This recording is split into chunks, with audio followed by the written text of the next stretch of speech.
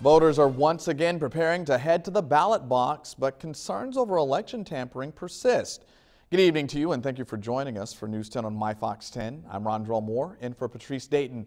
Indiana Secretary of State Connie Lawson says she's taking steps to ensure every vote is protected. But her opponent Jim Harper insists more needs to be done.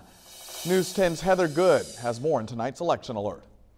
Republican Secretary of State Connie Lawson recently announced plans to use more than $7.5 million in federal funding to beef up election security.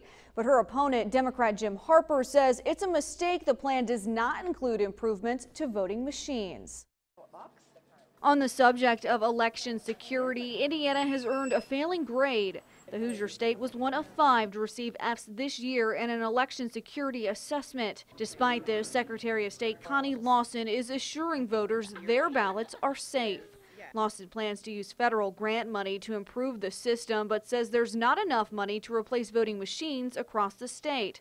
Her opponent, Democrat Jim Harper, says replacing the machines should be a priority. We have important elections coming up in Indiana in two and a half months, and we should be um, uh, focusing on securing our elections this year. And if the money that's available isn't enough to fix the problem in every county, we should at least be using it um, to uh, fix the problem in as many counties as possible. Harper says there needs to be a paper trail, meaning votes should be cast on paper ballots or a verified receipt should be issued to voters.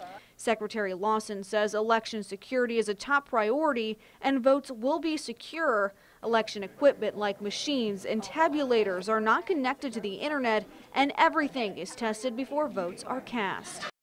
Election day is November 6. You'll need to register to vote by October 9th. New for you tonight at 10.